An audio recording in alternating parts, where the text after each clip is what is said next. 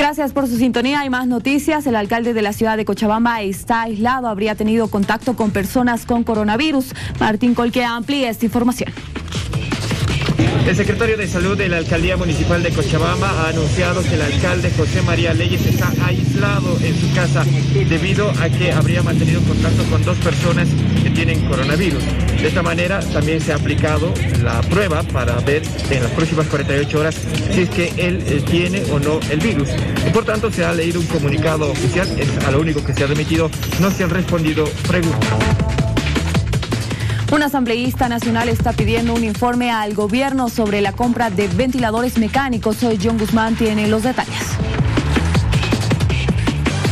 desde la Asamblea Legislativa porque el diputado Remberto Calani ha presentado una petición de informe oral al Ministerio de Salud para conocer quién primeramente habría estado a cargo de llevar adelante la compra de los respiradores 170 que habría llegado a nuestro país y que han sido definitivamente observados porque no irían para terapias intensivas, sino para terapias intermedias. Hay observaciones que se han hecho en las redes sociales de parte de autoridades y mucho más. Es por eso que se pide esta petición de informe con 13 preguntas, comenzando de quiénes han sido los responsables de solicitar este tipo de equipos, además también de los precios en los que se ha gastado y se ha invertido en este tipo de equipos que han sido observados y criticados. Pobladores del municipio de Caranavi en La Paz eh, se han declarado en emergencia y cerraron el ingreso a la población luego de conocerse el primer caso de coronavirus en esa región. Estas las imágenes denuncian la falta de atención y control de las autoridades locales.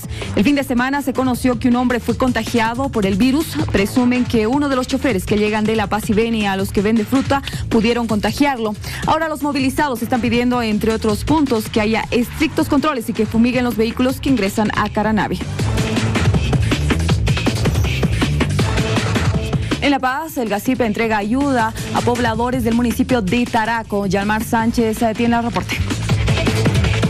Mucha atención porque seguramente usted ni conocía que en el municipio de Taraco hay una isla de nombre Sicuya.